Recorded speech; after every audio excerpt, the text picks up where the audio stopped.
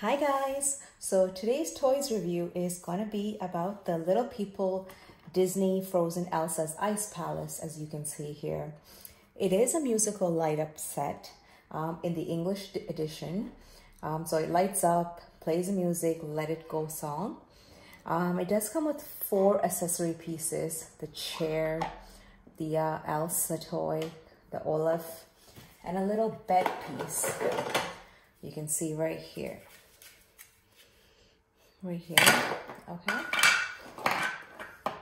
So you can you can put the toy the accessory piece right here and it will light up.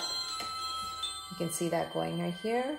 And this there's another little snowflake spinning action right here. So it does spin. Um, there's a staircase associated here which plays the music and we have to wait for the music to end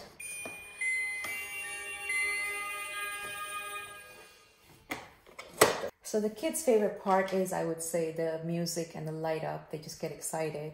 And you can actually use the accessory pieces right here, you know, to use the slide, the staircase, um, the doorway here. The good thing about this castle is that it actually has a back piece to uh, a back piece to it. So you can actually use the back side um, to play more.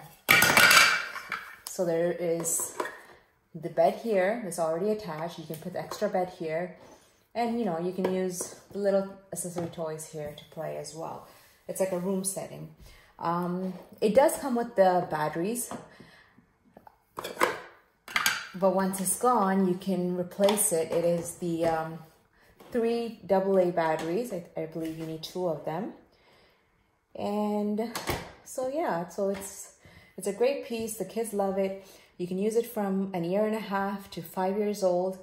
Both my kids, um, year and a half and the five year, uh, four year old love it. So the only um, backside of this is that, you know, the kids would have loved it if they had more accessory pieces like Anna, which is another main character, Kristoff, um, the reindeer piece.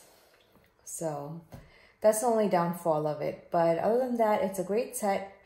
Keeps kids busy for a little while and yeah, I would great uh, totally recommend it.